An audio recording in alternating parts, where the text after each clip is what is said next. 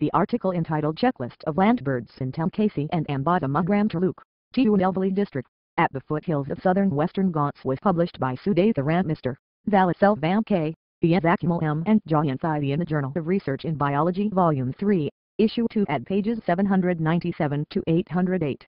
The summary of this article goes on as follows. Birds present everywhere and are important ecological indicators.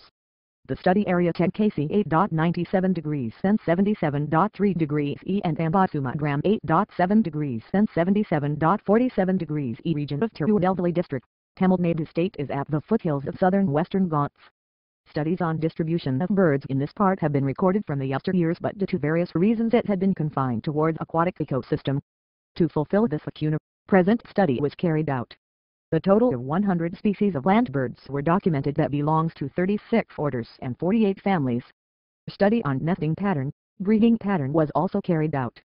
30% of the birds had their breeding periods during rainy season and 50% of the birds had their breeding periods during harvesting time. Insectivores breeds during rainy season and granivores breeds during harvest season which supports food availability breeding time hypothesis. You may also publish your research articles with us with good peer review and elite standards kindly visit www.jresearchbiology.com for further details.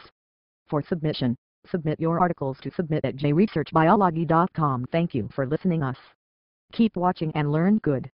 This audio was brought you by www.rjol.org.